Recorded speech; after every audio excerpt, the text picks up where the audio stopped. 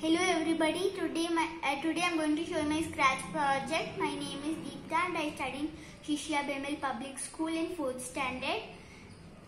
This project I made in with events block, control block and looks block.